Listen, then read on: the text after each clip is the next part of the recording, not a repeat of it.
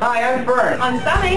And I'm Allison with the Chamber of Commerce. We're here with Celebrate and Grimsby 2012. So, Allison, what can we expect as doors open? Well, a little bit of history. We used to be the Grimsby Jail Cell along with the fire department. Currently, we are an information center providing information regarding upcoming events around the area. So don't miss out on this great opportunity and join us on Saturday, September 22nd, 2012. Come, Come join join us!